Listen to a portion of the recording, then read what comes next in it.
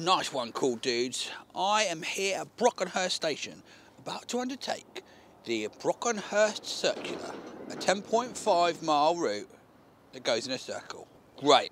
Good luck, everyone, especially me. A good story about that pub called Dudes. That is named after the infamous Brusher Mills, who was this local personality at the end of the 19th century who used to catch snakes in the New Forest. And it's said he caught 30,000 and he used to sell them to London Zoo as um, food for the birds of prey and uh, also he made ointments and remedies out of them. Good old Brusher Mills. Bit of a grim, busy road start, but I can't stop thinking about Brusher Mills and the 30,000 snakes. How many snakes are in the New Forest? I dread to think what it was like. I'm sort of expecting some snake infested jungle now. All the New Forest ponies are out. Wonderful.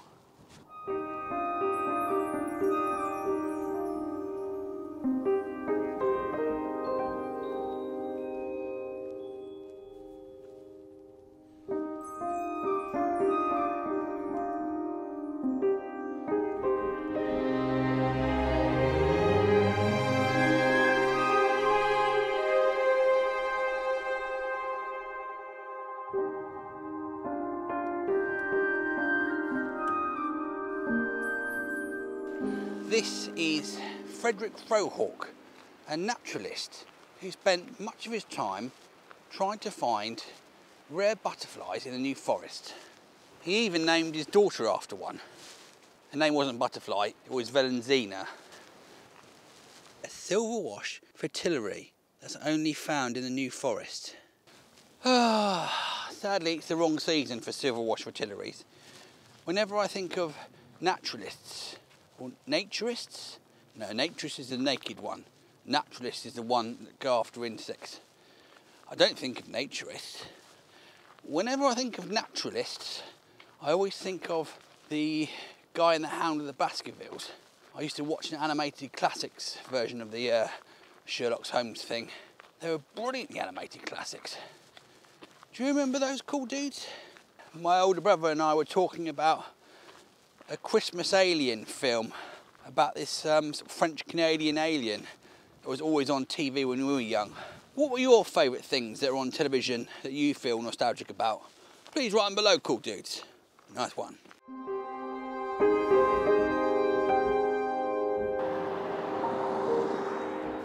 I'm about five miles into the walk, cool dudes, and I am slightly underwhelmed by it because it doesn't really seem that you're ever really too deep into the forest. They're all quite big tracks and near busy roads.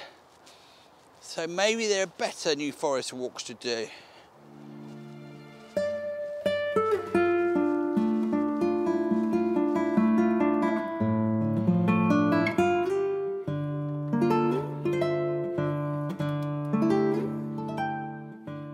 Pleased to report I haven't seen any snakes yet, so I think Brusher Mills must have got them all. This walk takes you right up a path and then back down again. I'm going to pub up here for lunch, but if you're not doing that, I would not bother to do this bit. Sad to report, that was a pretty underwhelming lunch. 16 quid or so for a burger was pretty small and there was some red onion, sort of pickled onion thing in it, which was gross. And the chips were triple cooked, which meant they just tasted a bit fatty. You know, the worst burger I've had in quite a while, I'm afraid.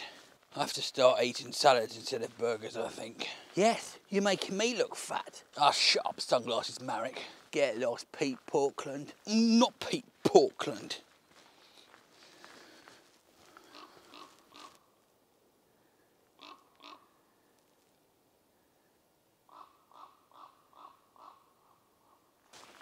A weird sounding crow. There's only a couple of miles left. We might as well do a challenge. In honour of Brusher Mills, today's challenge is a snake catcher challenge. You're wandering around the New Forest and you see four green things poking out of various places. Which one do you catch? You need to find the snake. A, B, C, or D. Choose wisely. Are you ready? If you chose A, B, or C, unlucky, you have failed. But if you chose D, congratulations. You were the new snake catcher of the New Forest. You must come here immediately and catch 30,000 snakes. Good luck.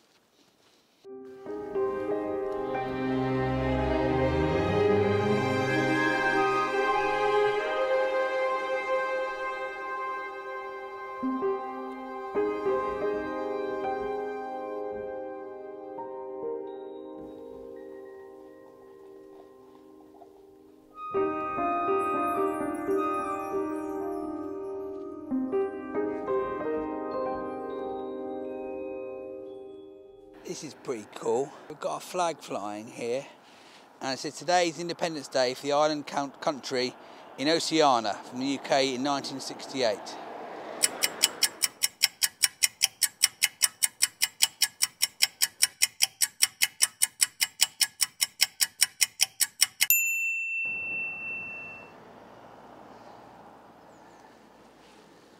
A Ford worth a few points in the spotter's handbook.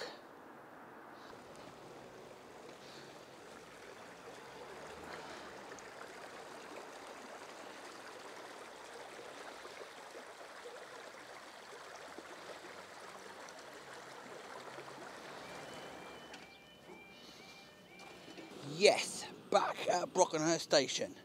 That was 11.2 or 3 miles, something like that, 5 hours and 20 minutes. I still feel disappointed about the walk because it was just on gravel paths. And I, I think in my head I thought I would be exploring these lush woodland and seeing loads of wildlife, even though it's January. So a little disappointing. I'm sure if you come and do this walk, there are better walk, or come to Brockenhurst rather, there are better walks around Brockenhurst. I had to stop because there was a kid crying in the background. Nothing to do with me. Anyway, that is about it for the walk. Don't forget to join the club. You can join via the website or YouTube. There are different benefits for both. Thank you so much everyone who has because that's what funds all the walks and the B&Bs and transport and living costs. And for the YouTube members, there is going to be another walk that only you can watch. That's going to be the Brockenhurst Lymington walk coming up um, soon on the channel. All right. It's time for the prize draw, if you want to stick around for that. If not, stay cool. Alright, see you later.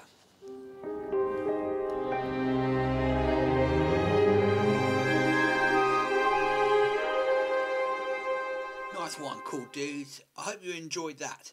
Before the prize draw, a quick update. In the last video, I talked about allowing likenesses of things to score points in the Spotter's Handbook. Well, on this walk, I ran across someone's front garden which had every single animal I'd ever seen in stone form. There was a kingfisher, red squirrel, owl, stoat, mouse, butterfly. There was even a whale. It was worth about 50 points. So that idea has now been abandoned. You must see the actual thing to score points. And if there's any doubts, just take a picture and write cool dude spotters on it and put it on Instagram and I'll tell you whether it's allowed or not. The next thing is I talked about t-shirts last time.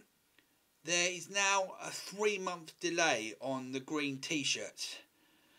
So instead I'm going to get beanies made with a sort of logo on them. Is there any merchandise that you would like?